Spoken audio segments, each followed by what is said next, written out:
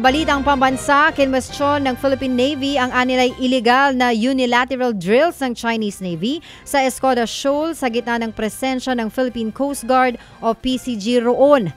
Ayon kay Philippine Navy spokesperson for West Philippine Sea Roy Trinidad, naglunsad ng hovercraft at uh, aircraft ang uh, People's Liberation, Army Navy o plan ng Beijing sa planong uh, karagatan nitong uh, linggo hanggang lunes o sa naturang karagatan na monitor daw ng ating Navy ang lahat ng kilos ng Chinese Navy sa tinatawag ding Sabina Shoal.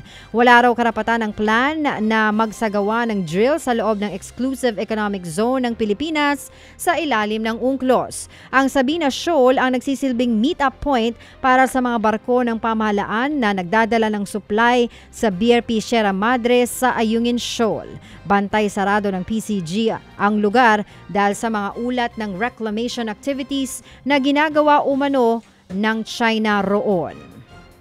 Halos dalawang daang libong medical workers naman ang kailangan ngayon sa bansa. Ayon po yan sa Department of Health.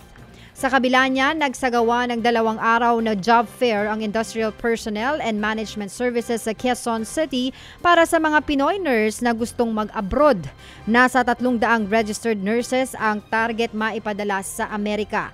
Magbubukas din ang IPAMS ng recruitment sa Tacloban sa biyernes. Ayon sa DOH, mas pinipili ng maraming healthcare worker na mangibang bansa dahil mas malaki ang sahod at benepisyo roon. Samantala, walang pasok sa June 17 matapos itong ideklarang regular holiday. Sa inilabas na Proclamation number no. 579 ng Malacanang, ginawang regular holiday ang June 17 bilang paggunita sa Idil Adha o Feast of Sacrifice ng mga Muslim. Kasunod po yan ang rekomendasyon ng National Commission on Muslim Filipinos. Isang Idil Adha sa malaking selebrasyon na ginugunita ng relihiyong Islam. Ted Filon at DJ Chacha. Ngayon, nasa Radyo 5, 92.3 News FM. Monday to Friday, 6 to 10 a.m.